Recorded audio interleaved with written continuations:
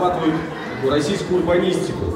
И прежде чем мы начнем, а, там, дойдем до темы устойчивых поселений, а, небольшой сжатый опыт нашего анализа а, постсоветских городов, постсоветских поселений, как мы их анализируем, что они из себя представляют, какие проблемы накопились, причины этих проблем, и ну, вы сами немножко начнете понимать, что делать дальше. Так, начнем.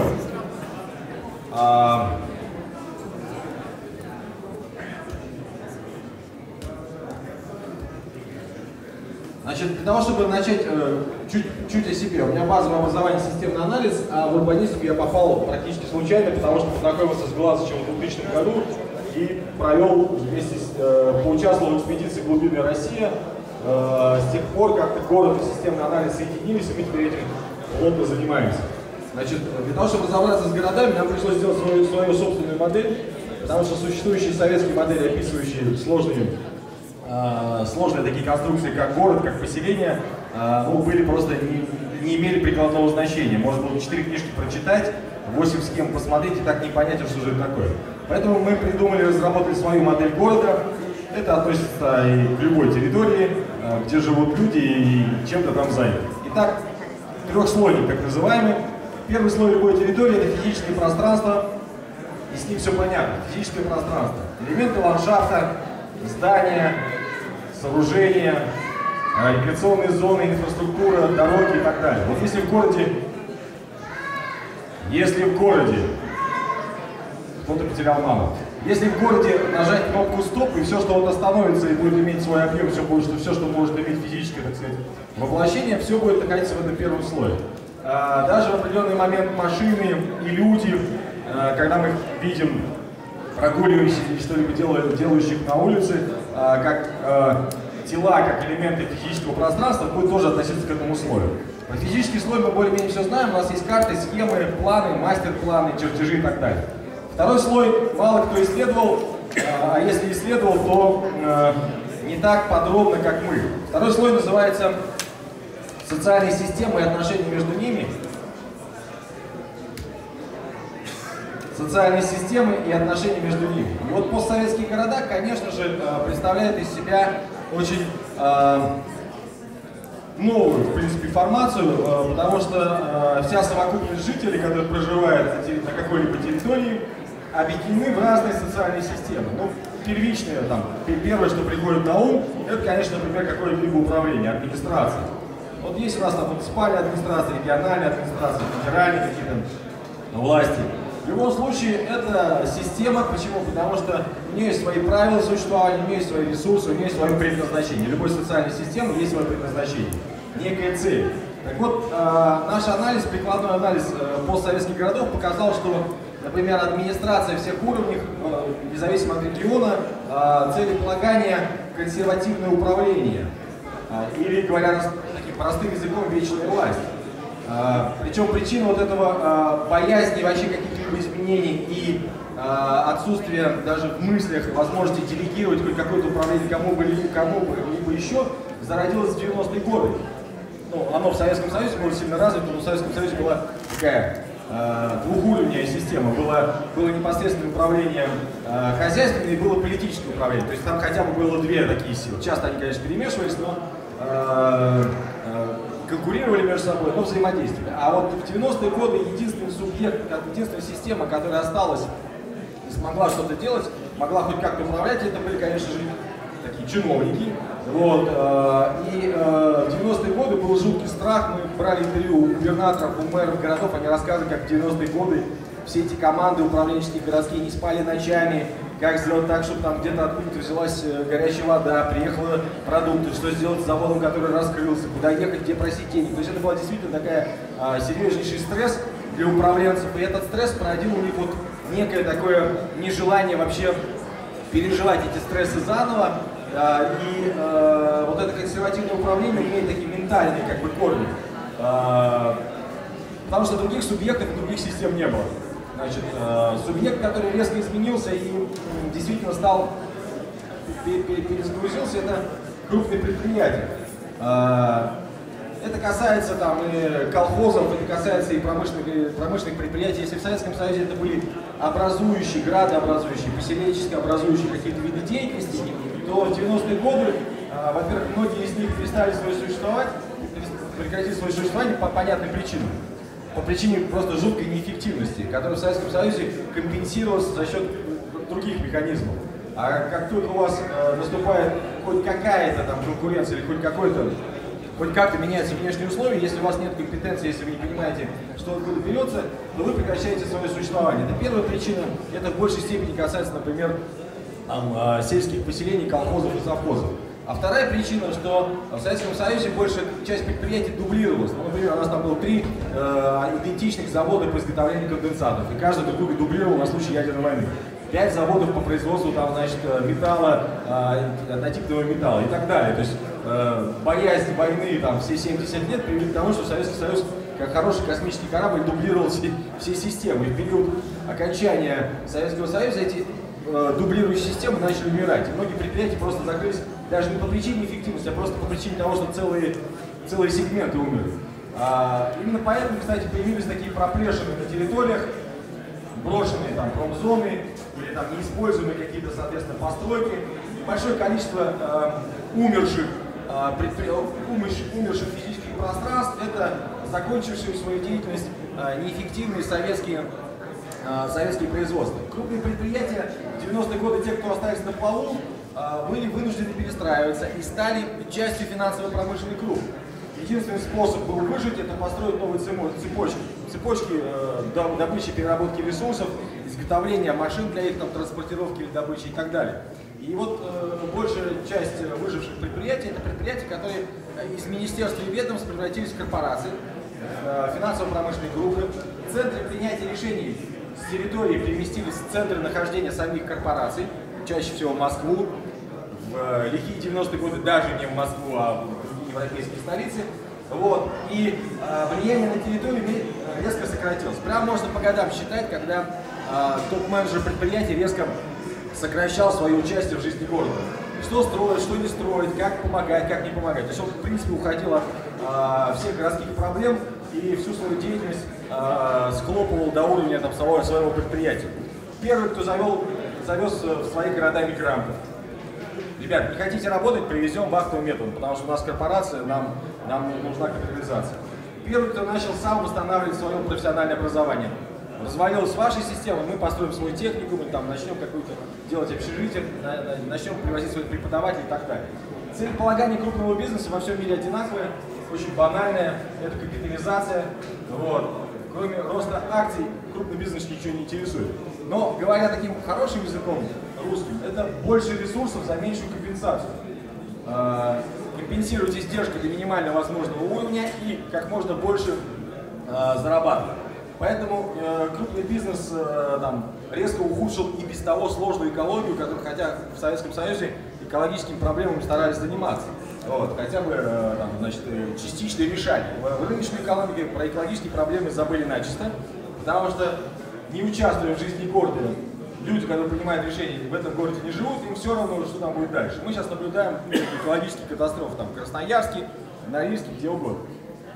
Субъект я про них могу говорить много, начиная от того, что там и профсоюзы перестали прекратить свое существование и возобновились уже совсем в другой форме. Но речь не о них. Субъект, который появился новый за последние 25 лет, это, конечно же, средний бизнес. Средний бизнес. Новая социальная система, которой до этого в стране просто не было. Это ритейл, все, что связано с торговлей, development, производство товаров народного потребления, ну типа там обувь, туалетная бумага, может быть картонная упаковка, может быть еще что-то, и услуги, ну типа банки, то есть такие Э, крупный средний бизнес. А как возникал этот субъект? Этот субъект возникал тоже в 90-е годы как э, э, возможность, э, как люди, которые хотели заниматься чем-то, у которых была, был запрос на новые роли, у которых были ресурсы, какие-то компетенции управленческие. В тот период, когда все пространство фактически никому не принадлежало и быстро, и быстро как бы нужно было э, разбирать, на каких ценностях возникал средний бизнес на постсоветском пространстве. Что знали русские люди о предпринимательстве и о бизнесе? Они, конечно, ничего не знали, потому что в Советском Союзе за предпринимательство сажали в тюрьму, Вот. Э, НЭП остался глубоко э, в прошлом, никто про него не помнил. А те, кто знал чуть-чуть про бизнес, э, знали это из массовой культуры, как правило, там американской, что предприниматель это человек с хорошими часами, в малиновых пиджаках и на дорогих автомобилях. Если вы вспомните свои 90-е годы, вы удивитесь, как много ваших, там, не знаю, там, бизнесменов именно таким образом себя и вели, и все над ними даже подсмеялись. Хотя это на самом деле была реальная ситуация. Потому что негде было взять модели, а что такое бизнес. Некогда было разбираться, некому, не у кого было учиться, что такое бизнес. Поэтому целеполагание социальной системы средний бизнес сформировался очень примитивно. Это э, максимизация прибыли, говоря простым языком, больше бабла. Что бы средний бизнес не делал, его интересуют только деньги. Потому что никакие другие ценности никто ему в этот бизнес не, не привил. А от Советского Союза у него, к слову, социальный, к слову, э, там, общий, возникло такое э, негативное отношение, что он про это старался как можно, как можно э, там, быстрее забыть. Поэтому средний бизнес как субъект, который возник, конечно же, э, первым делом э, начал, начал зарабатывать. Как он начал зарабатывать? Начал делать торговый центр, начал строить только жилье, начал завешивать город, соответственно, там, наружной рекламой, потому что ничего, кроме денег, его не интересовало. И мы получили ситуацию, когда э, город как физическое пространство представляет из себя, в принципе, такую суперпозицию вот, среднего бизнеса, который сильно перекроил наши города. Э, появились только спальные микрорайоны. Мне за последнее время, а я проехал там 367 постсоветских городов, ни в одном из городов нету по-настоящему комплексного там микрорайона, построенного за последние 25 лет. То есть комплексного, в котором был только там жилье, не только даже садик и школа, но, не знаю, какое-то небольшое предприятие или сеть предприятий, чтобы хотя бы 30% жителей, которые купили там квартиру, могли работать вот э, вблизи от дома. Потому что бизнес не про комплекс. Он говорит, друзья, я зарабатываю деньги, мне для того, чтобы там создавать какую-то деятельность, нужно с кем-то договариваться, кого-то просить. Зачем? Это время, я не знаю с кем, меня никто этому не учил. Я купил землю и построил. Плюс, конечно же, администрации всех уровней э, были рады тому, что у них хоть что-то начинает происходить, хоть чем-то можно отчитываться о том, что город развивается. И сейчас наши города находятся в ловушках. Единственный параметр, по которому администрации следят друг за другом и считают эффективно и неэффективно их Управление – это количество квадратных метров жилья, введенных в строй. И поэтому э, средний бизнес и администрации друг друга как бы поддерживают, всячески пытаются друг другу помогать, потому что только вот здесь происходит хоть какое-то э, хоть какое, хоть какое-то развитие, ну, в смысле строительства. Как влияет на это на город, чуть попозже посмотрим. Средний бизнес, кроме, конечно же, того, что создал новый сценарий в городе потребления и новый сценарий, там, соответственно, разделение, а, сформировал новый запрос в городах. И а, благодаря среднему бизнесу в городах возникла и постиндустриальная экономика, потому что среднему бизнесу понадобилась совсем другая архитектура, совсем другое, соответственно, там, понятие возникло дизайна, реклама, различные сложные коммуникации, интернет, бухгалтерия, банкинг и так далее, там, логистика. Около 42 отраслей, которые мы сейчас относим к постиндустриальной экономике на постсоветском пространстве, это, в принципе, благодаря тому, что возник вот этот субъект, которому понадобилось что-то новое конкуренция, более сложные услуги, э, более изощренные способы коммуникации и так далее. И, например, в моногородах, э, набережные Челны, какой-нибудь Забайкальский, какой-нибудь Норильск, конечно же, никакой постиндустриальной экономики нет. Если вы посмотрите там нашу карту городских сообществ, мы на ней иногда выкладываем там анализ и моногородов в том числе. Вот э, Норильский никель э, говорит мне, Святослав, я 10 лет вкладываю в развитие города Норильск, там, полтора миллиарда рублей каждый год. Мы тут за диверсификацию экономики. Я говорю, ну вы понимаете, что это такое диверсификация экономики? Конечно, понимаем. Я говорю, ну отлично, вот смотрим анализ. Из 42 видов деятельности постиндустриальной экономики есть только рекламное агентство муниципальное и типография. Поэтому на вопрос, почему 87% одиннадцатиклассников уезжает из города, меня даже не спрашивают. Ни одного представителя среднего бизнеса. Потому что есть только крупные промышленные предприятия, которые, конечно же, все свои заказы заказывают где-то там. Дизайн, логистику, банкинг, все там. В городе ему только нужна руда, там, переплавка и так далее. Поэтому это сложные вещи, но э, в тех городах-миллионниках, городах 500-тысячниках, в принципе, вот эта постиндустриальная экономика есть, и где-то даже широко представлена. Э, э, в 300-тысячниках уже частично, то есть есть специализация, на чем города начинают специализироваться. Целеполагание этого креативного класса, зарождающегося ему всего лишь там 10-15 лет, очень примитивное, э, потому что он себя как субъект еще в городе не, не, не, не осознает, э, э, плохо понимает, а как он может влиять на город, плохо понимает, а как он может э, как-то участвовать в стратегии развития города. Поэтому целеполагание креативного класса после индустриальной экономики очень простое. Fun и enjoy. Мы получаем от этого удовольствие, не всегда деньги, и мы занимаемся этим, потому что это модно, мы, потому что как бы это этим сейчас престижно заниматься, э, этим нам хочется заниматься, это нам транслирует вся там массовая культура. Малый бизнес. Малый бизнес – это самозанятость, фактически тоже очень плохо собирается в субъекты, то есть не представляет из себя такого полноценного субъекта, разрозненные, разрозненные предприниматели, э, каждый из которых, в принципе, очень чувствителен к трем темам. Э, тема арендная ставка, чем ниже, тем лучше. Тема персонал, чем э, меньше воруют и чем больше работают, тем лучше. И тема маркетинга, все для всех по любой цене. Вот как только маркетинг начинается со слов, кто ваша целевая аудитория, все, что вы продаете, все, а какая цена, договоримся, малый бизнес, типичная такая самозанятость.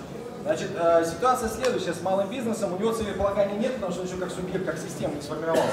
Но можно сказать, что если провести и мы проводили такие качественные исследования, э, что хочет малый бизнес от жизни. Он говорит, слушайте, не трогайте нас, нас нет. Представьте, что нас в городе нет. Мы так от всего устали, от повышения налогов, там, от каких-то еще проверок, от очень неэффективных действий среднего бизнеса, который нас не считает за, вообще за людей. То есть предприниматель может построить торговый центр, и в этот торговый центр начать искать арендаторов со всей, со всей страны. Вместо того, чтобы с местными разработать какую-то эффективную э, арендную политику, может быть, чуть-чуть им помочь в дизайне, может быть, чуть-чуть их довести до уровня там, какой-то компетенции, он предпочитает завести кого угодно. Вот, только лишь бы, соответственно, не, не связываться с местными, даже многих из них не знать. Поэтому малый бизнес это такая самозанятость, причем сейчас, по последним оценкам экономистов, 50% малого бизнеса находится в тени, не платит налогов и существует, существует как такая теневая экономика хорошая. Значит, субъекты, которые э, еще, о которых стоит сказать, чтобы вы все понимали, почему у нас проблемы с коммуникацией в стране, это городские медиа. Городские медиа, ну, городские медиа, региональные медиа, федеральные медиа, неважно, медиа. С медиа случилось следующее. В 2000 году, в 2000 году, когда количество каналов коммуникации резко выросло, появился интернет, и он стал достаточно, стал, достаточно массовым, появились новые технологии медийные, стало достаточно просто делать там рекламу, снимать передачи, радио стало популярным. Вот пик радиостанции, пик выдачи лицензий на радиостанции пришелся наконец в 90-х, на начало 2000-х. Это не просто так, количество коммуникаций резко выросло. Поэтому э, устоявшиеся городские медиа, газеты, э, ну типа там, не знаю, Кузнецкий рабочий, когда там 50 лет, или какая-то телевизионная программа, там городская телевизионная какая-то студия, э, начали испытывать жесточайший кризис. Кризис с рекламодателями, кризис с подписчиками. И кому они пришли э, просить о помощи? Они пришли, конечно, в администрацию, сказать, друзья, вот если вы нам не поможете, то завтра газета с 50-летним стажем закроется, что скажут наши читатели. Администрация сказала, хорошо, что вы к нам пришли, спасибо. Давайте подпишем небольшое соглашение. Вот. И в этом соглашении мелким почерком было сказано, что критика теперь администрации со стороны средств массовой информации э, осуществляется только с согласия самой администрации, потому что мы же будем выделять вам субсидии, нам бы не хотелось, чтобы за наши деньги вы нас бы еще и, и как бы сильно мучили. Администрация создала департаменты по, по работе с масс, со средствами массовой информации. Это 2003-2004 год начали возникать департаменты по работе со средствами массовой информации. Городские муниципальные бюджеты, региональные бюджеты начали выделять годовые бюджеты на субсидии всех основных средств массовой информации. И, короче, э, из своей э, такой свободной субъектности эти э, городские медиа превратились ну, в такой некий управляемый субъект, э, который, э, в принципе, что-то о городе сообщает, но очень, как бы, очень, э, очень правильные вещи, очень понятную такую одностороннюю коммуникацию. Если делать критику, то тоже очень как бы, часто ее согласовывают. Второй субъект, который, в принципе, э, работает с медиа, это бизнес. Мы помним, что бизнесу нужны только деньги, поэтому сказал, слушайте, ребят, мне не важно, о чем вы там будете писать. Если это будет продаваться, если будет это приносить мне какой-то доход, пожалуйста. Поэтому, соответственно, или рекламные издания, или уж совсем какие-то там массовые желтые издания, которые пишут все, лишь бы все что угодно, лишь бы их купили, или такие прям муниципальные городские медиа, которые сообщают официальную политику. И в этом плане городские медиа не самостоятельный субъект, независимых медиа можно по пальцам пересчитать во всей стране. У нас э, коммуникация, какая коммуникация про город переместилась из пространства медиа в пространство персональной коммуникации, блоги, социальные сети и так далее. Вот, это второй момент. А, кстати, сам, одни из самых, э, такой побочный исследование, одни из самых больших потребителей дорогого алкоголя в городах это редактора э, местных средств массовой информации. Потому что им нужно как-то вот этот внутренний кризис ценностей каким-то образом компенсировать. Вот. А, и можно выйти на всех медиа, просто посетив один алкогольный бутик и спросив, а кто и в пятницу покупает вот там, не знаю, там определенный коньячок или определенный виски, и скажет, а, и весь список вам постоянных клиентов, вы потом смотрите со списком, со списком городских медиа и со списком городских чиновников, и они практически там во многих местах совпадают. Вот, ну такой побочный. Еще, одно, еще один субъект, о котором хочется сказать, это, конечно, локальные эксперты. Локальные эксперты. Это субъект, который сформирован, может быть, университетами, научными центрами, предприятиями, у которых есть хоть какой-то анализ и исследование, у которых есть хоть какой-то R&D. Вот. Локальные эксперты, э, как правило, это носители уникальной компетенции. Это могут быть и отдельные персонажи, но в любом случае локальные эксперты, субъект. Этот субъект тоже за последние, в принципе, 25 лет с начала всей этой рыночной экономики претерпел серьезнейшие, так сказать, изменения. У него всего осталось два заказчика, это администрация всех уровней и бизнес. Соответственно, администрация, кроме э, имитации деятельности, потому что я хочу консервативное управление, не хочу, чтобы ничего менялось. Но с другой стороны, мне вроде бы нужно имитировать, что я что-то делаю, поэтому сделайте мне такую концепцию, в которой был бы эффект новизны, но которую я бы никогда не смог применить. Вот, точнее, даже как бы не то, чтобы не смог применить, а которые я не буду применять, и вы все об этом хорошо знаете. А бизнес сказал, ребята, мне ваши изобретения, научные открытия не нужны, если они не приносят денег. Поэтому, конечно же, акцент сменился на маркетинг. А сделайте нам новое маркетинговое исследование, найдите, где у нас новые ниши. Или да, придумайте что-то, чтобы позволило нам с экономикой чуть больше заработать. Поэтому локальные эксперты, коэффициент полезного действия у локальных экспертов, мы делали специальные замеры по вузам регионов, брали просто годовые их, э, годовые научные труды, все, что они делают, и потом смотрели, сколько из этого э, было хоть чуть-чуть реализовано, хоть как-то куда-то ушло. 10% коэффициент полезного действия. Все остальное это любые презентации за ваши деньги. Вот любые презентации за ваши деньги с картинами, с картинками, со схемами, с графиками и так далее, это вот то, что производит локальный эксперт. Но чтобы сохранить свои компетенции, локальные эксперты были вынуждены, ну, это нормальная история, конечно же, искать работу по профилю, как правило, находили ее не в, своей, не в своем городе. Потому что, э, если ты такой умный, почему ты такой бедный? Во-вторых, э, мы такие же, как ты, чего то здесь нас учишь жизни, поэтому локальные эксперты, чтобы сохранить свою компетенцию, конечно же, э, могли ее сохранить только за счет встраивания в какие-то другие процессы э, на других территориях. Нет пророка в своем отечестве. Это прямо про наших локальных экспертов. Нет пророка в своем отечестве. Вот. А, еще один субъект, а, третий сектор, общественные организации НКО. Я не зря их нарисовал рядом с администрацией поближе, потому что так случилось, что наиболее активные люди с системой ценностей, наиболее пассион... самые такие серьезные пассионарии, а, которые там в 90-е годы, в 2000-е годы решили какие-то свои, какие-то общие проблемы решать, очень быстро институализировались, тем более, что в 90-е годы, например, общественное движение, конечно же, поддерживалось властью. Было создано не просто небольшое количество ресурсных центров, причем многие из них с, иностранным финансированием. Было создано вообще понятие третий сектор. Третий сектор как калька э, с э, европейского опыта э, работы с общественностью. То есть было проведено большое количество со, образовательных мероприятий, когда возникло действительно те активисты, которые были в городах и на территориях, в принципе, были востребованы и им были даны ресурсы для решения этих, э, для решения этих э, каких-то проблем. Но э, в 2015 году мы можем зафиксировать, что третий сектор общественной организации, в принципе, целеполагание следующее, это КСО, о, КСП, купирование социальных проблем. Почему купирование социальных проблем, а не решение социальных проблем? Потому что за последние 20 лет ни одна из проблем, которая поднималась этим третьим сектором, не решена. Не проблема с экологией, с раздельным сбором мусора там, или с очистными сооружениями, не проблема там, э, с э, людьми, которые э, прошли через тюрьму, не проблема с, э, не знаю, там, с, с детьми и так далее, не проблема с наркоманией. Ни одна из социальных проблем не то, что не была решена, она даже, в принципе, э, ну, как бы не была описана э, системным, системным образом. Почему? Потому что на самом деле, конечно же, если решать социальные проблемы, они все, причины этих социальных проблем уткнутся в некую, в некую систему, в некое системное э, поле. И, конечно же, администрация, чтобы сохранить управление, сказала, ребята, вы занимаетесь этой темой, но решать ее не надо.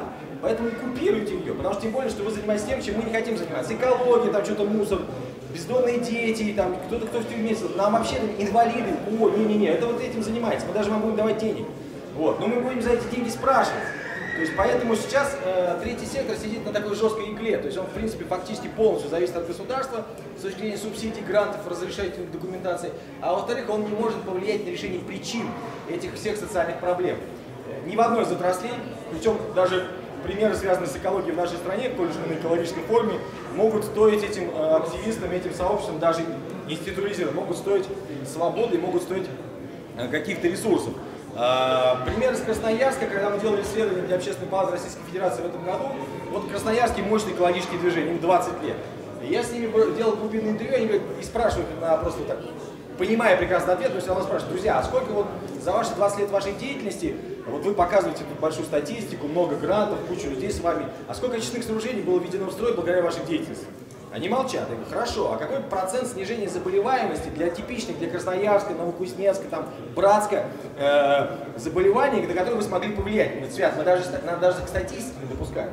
Мы 20 лет занимаемся сейчас конкурсом детских рисунков. Вот у нас грамота от, от Кобзона, вот у нас фотография, там, не знаю, еще с кем-то. О чем ты говоришь? Если как только мы начинаем копать глубоко, нам сразу вызывают и говорят, друзья, вы не туда лезете. Какие, какие помоечки? Нет у нас ничего. Какие очные сооружения? Забудьте про это. Мы уже вставили эту программу на 2020 год. Фактически даже люди, которые, в принципе, понимают, э, что в обществе что-то не так и обладают вот этим импульсом изменений, характерным черта, черта активистов, не имеет возможности по, на, за, по, э, написанной, по написанным не ими правилам что-либо изменить. То есть парадокс ситуации, ситуации заключается в следующем, что правила работы, правила решения общественных, э, общих проблем написаны одним субъектом, э, люди, которые этим занимаются, находятся в такой ловушке, что они пробуют в установленных границах что-то решить, но правила написаны так, если сделать системный анализ правил, правила написаны так, что эти проблемы вы даже не увидите в решении этих Вы всегда будете решать только следствие этих проблем. И поэтому купирование социальных проблем. Людей там, э, поэтому третий сектор нельзя сказать, что развивается с точки зрения увеличения количества участников или увеличения количества каких-то там э, новых партнеров. Третий сектор развивается с точки зрения усложнения. Появляются все более и более сложные формы внутренней работы, конференции, практически семинары, ресурсные центры там, и так далее. Очень много всего возникает внутри, но если посмотреть целиком, картинку, то картинка только ухудшается. То есть общая э, э, э, реальность, данные нам в ощущении, говорит нам о том, что деятельность э, третьего сектора все менее заметна. Э, плюс цифры, которые меня расстроила, что 40% своего времени и ресурсов этот третий сектор тратит или на оформление грантов, или на написание